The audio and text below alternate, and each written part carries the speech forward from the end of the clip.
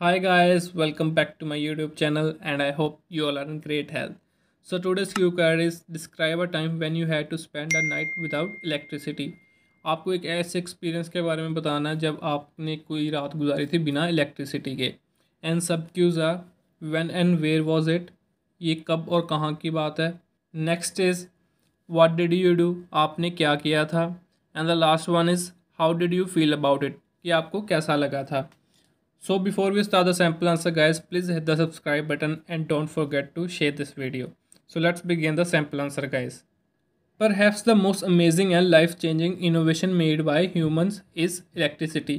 कि शायद जितने भी इंसान ने इनोवेशंस बनाए हैं उनमें से सबसे अमेजिंग सबसे बढ़िया इनोवेशन इलेक्ट्रिसिटी ही है and there is no denying that it is an integral part of our life कि इसमें कोई दो राय नहीं कि ये सबसे इंपॉर्टेंट पार्ट है हमारी लाइफ का we are heavily dependent on electricity and it is just unimaginable now to think our survival without electricity. कि हम आ, बहुत ही ज़्यादा डिपेंडेंट है बहुत हैवीली डिपेंडेंट है इलेक्ट्रिसिटी पे और हम अपना अगर सर्वाइवल देखें सोचें इलेक्ट्रिसिटी के बिना तो सोच नहीं सकते बहुत मुश्किल लगता है। However on a few occasions we encounter issues regarding its availability कि कभी कभार क्या होता है ऑन ओकेजन्स की इसकी जो अवेलेबिलिटी होती है नहीं होती हमारे पास। And here I would like to talk about one such experience where I had to spend a night without electricity. यहाँ पर मैं एक ऐसा एक्सपीरियंस शेयर करना चाहता हूँ जब मुझे एक पूरी रात गुजारनी पड़ी बिना इलेक्ट्रिसिटी के। It all happen one year back in the month of May कि ये सारा कुछ इंसिडेंट एक साल पहले हुआ था in the month of May I was in my native place कि मैं अपने होम टाउन में था। I have a vivid memory of this day I was reading a novel every breath by Nicholas Park when our city got hit by windstorm and in no time it damaged many transformers, which led to power cut. कि मैं अभी भी ये दिन की memory अच्छे से मेरे मेरे दिमाग में है कि मैं रीडिंग कर रहा था, एक नोवेल पढ़ रहा था जिसका नाम है every breath by Nicholas Park और अचानक से एक विंड स्ट्रॉम आता है और काफ़ी ट्रांसफॉर्मर्स होते हैं जो डैमेज हो जाते हैं और उसकी वजह से क्या होता है कि पावर कट लग जाता है। I was hopeful that electricity would be restored soon but unfortunately it didn't happen कि मैं बहुत होपफुल था कि जल्दी ही इलेक्ट्रिसिटी आ जाएगी बट ऐसा नहीं हुआ।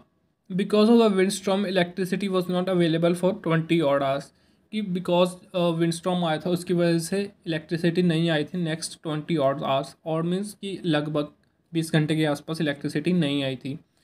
To kill the time I started playing games online on my phone but unfortunately my phone's battery didn't last for too long कि टाइम पास करने के लिए क्या करने, किया गया? मैंने ऑनलाइन गेम्स खेलने लगा अपने फ़ोन पर बट अनफॉर्चुनेटली क्या हो गया बैटरी ख़त्म हो गई, वो ज़्यादा देर तक मेरा फ़ोन नहीं चला।